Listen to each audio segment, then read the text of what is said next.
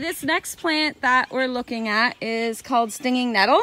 Uh, it gets its name because, well, it stings. Um, you will know stinging nettle if you touch it barehanded. Stinging nettle tends to like uh, damp places and it usually also likes uh, places that have had livestock. So in the back of old barns where there's old raspberries growing um, is a really good place. Uh, down by swamps, uh, in wetlands, in the forest are really, really great places to look for nettle. Um, so nettle, uh, do not harvest without gloves and long sleeves. Um, it lives up to its name very, very well. Just uh, give me a second here. And I'm gonna put my glove on so I can show you a little closer up. So, uh, nettle plants are best harvested right about now. We're spring here in Canada and they're nice small green shoots. Um,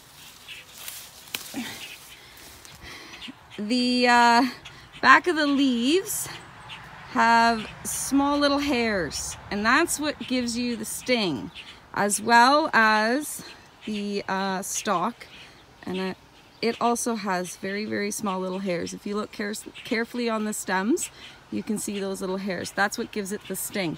Once stinging nettle is uh, dried. You can collect it and then just tie it upside down in a bunch somewhere um, nice and dry uh, once they're dried off, there's very little sting left. And uh, you can have this in teas for other herbal things. Um, and of course, it makes really, really nice green in soap. Um, you can rip it up by the roots if you find it somewhere in the property that you don't want, but if you want to continue to keep your patch, uh, just pick it like you saw me. You just kind of snap it off and um, you'll have yourself nettle for years to come.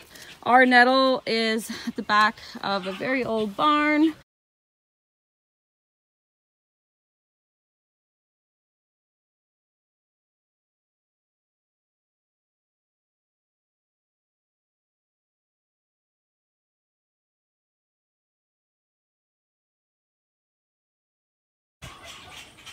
Now we're gonna move on to one of my favorite plants to use. Um, I use this particular plant and well it's actually most people consider it a weed in a number of my different soaps um, and in my bath teas. Uh, it's called plantain. Not plantain the banana plantain the weed. Sorry the birds are teaching their little ones to fly. Anyway so this plant here is a wonderful uh, plant it um, rejuvenates the soil so you'll see it struggling in uh, really poor soil conditions. This is our tractor path from the garage to the barn. And as you can see, the only green on this path is plantain. So plantain, there's broadleaf and skinny leaf or small leaf plantain. Um, you just pick it and you can dry it, dehydrator or in the sun or however you dry your stuff. Uh, the other great use for plantain is it's great for itches and stings. If you get stung by any kind of bee, hornet, wasp, whatever, you take the leaf and you chew it up. Um, your saliva uh, releases the healing properties in it. You spit out the leaf and the saliva and you would apply it like a poultice to wherever you got stung and within a very short period of time you'll notice that your sting is gone.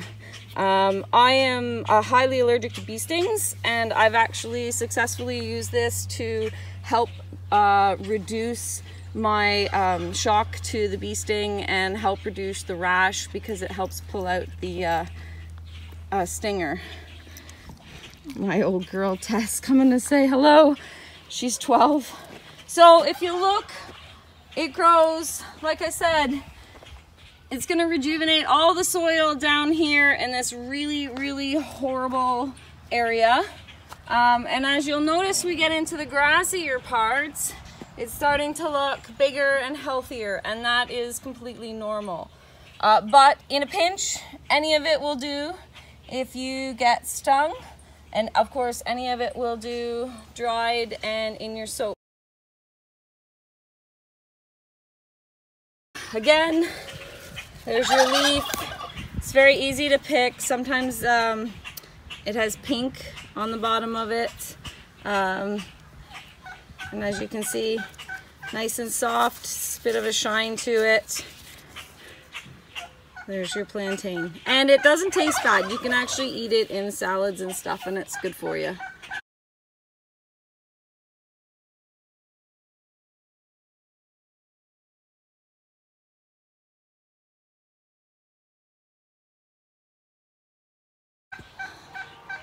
This is one of my most favorite plants on the farm. This is comfrey.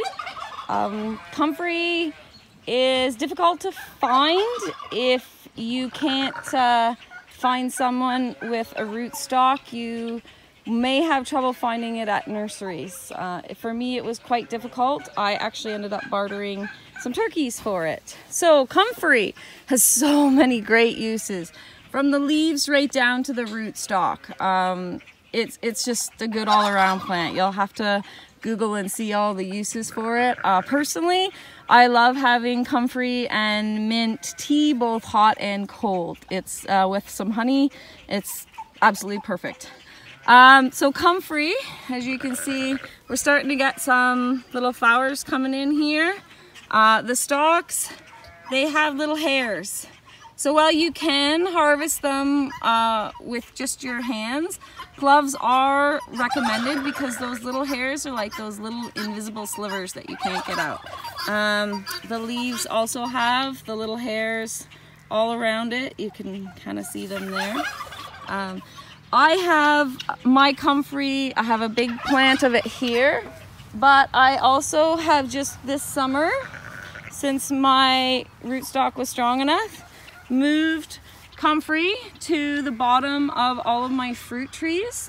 Their taproot system is really, really long and they pull up amazing nutrients from the ground, which then helps the roots of my apple and cherry trees.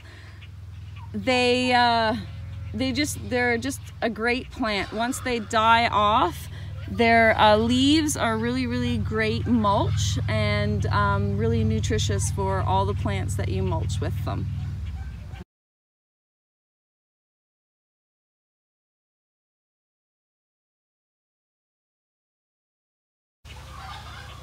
So this is just another shot of a mullein plant I have on the property. Um, it's actually beside my really sad asparagus bed. But um, my husband is wonderful about not mowing it down because he knows that I use it for lots of different things. So next to that, we have some cedar. Um, cedar has really, really a beautiful, nice, warm smell to it. Uh, you can dry the cedar and use it in uh, teas, bath teas, uh, and it just adds a really nice earthy aroma. So it is spring here, so you'll have to forgive the patheticness of my lavender plants. They're just coming out of their winter hibernation. But, um, so this is the full lavender plant. If you look down here, the little sprigs of it are coming off of the old plants. And this will turn into some nice lavender to use in soaps and salves and bath teas. So this is a lavender plant that I bought this spring because some of my older ones didn't make it through the winter, so this is kind of a replacement one. Um, and I just wanted to use a word of caution to new soapers or uh, anyone wanting to use lavender. Um, the lavender buds are beautiful. Unfortunately, when you sprinkle lavender buds on the top of soap, uh, once dried, it looks like little brown mouse turds. So, um, as much as you might be dying to put it on your soap, I highly suggest that you don't. A better use of your lavender buds is to infuse them or like myself, I grind a lot of the buds up and use it in my soaps as a very light exfoliant and it, um, it will still turn brown but that people know it's an exfoliant in the soap. They're not looking for um, beautiful colors and uh, it doesn't look like mouse turd all ground up.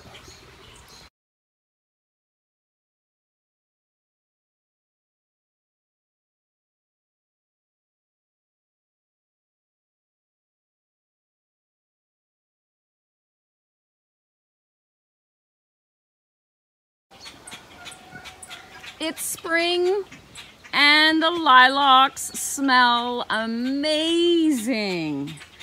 Uh, word of caution though, soapers. Unfortunately, the buds do not stay purple. If you sprinkle them on soap, they turn brown. And infusing them, um, the scent does not last. Very unfortunate because lilac has a beautiful fragrant um, smell that we all associate with the warm coming spring. Uh, unfortunately, it doesn't carry through in soap, so um, you're just going to have to enjoy the lilacs as they are um, out of soaps. So this is a rose bush. Um, you'll be able to find wild varieties of this. This is a semi-wild variety. I've cultivated it through the last number of years. Um, but uh, the wild variety of roses are very fragrant and beautiful. Uh, you see, I've just got some some buds coming in right here. Uh, once they fully open up, I pluck the petals and I either put them in the dehydrator or lay them out on a really hot sunny day and they dry in no time at all. Um, and I use them in toppings of my soap and in a number of my bath teas. Uh, you can also dry the buds, but just caution, they do take a little bit longer to dry than just the petals themselves, and the buds can cause a little bit of mold to happen on the top of your soaps, whereas I don't seem to have that same problem with the petals. Um, so yeah, this is more of a wild variety. Um, they have very, very, very sharp thorns. They grow in bushes and they are very, very good about coming back every year all on their own. As you can see, the buds are just starting to think about coming out. So I can't wait for these to come out. They come out pretty close right after the lilacs. So I always have some nice fragrant smells going on here. So it's been about four days since I last posted about the roses and I just wanted to show you how they look when they are in bloom. So there's a couple here that are ready for me to harvest. Um, I usually put a lid box, box of a lid on the ground uh, because sometimes these ones, when they're really ready to harvest, as soon as you shake them, the petals fall off.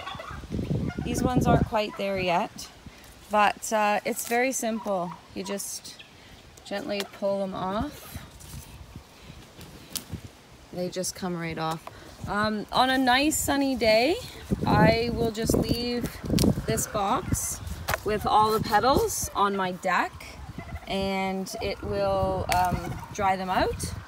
On a day like today, when it's overcast but I have petals that need to be done, I stick them in the dehydrator. Um, there's a few buds here that are ready for picking as well if I wanted to. Um, I don't need any buds at the moment, but you would just uh, break them off right there. Uh, there's no thorns right there on the plant. If you look, the thorns are just down a little bit further.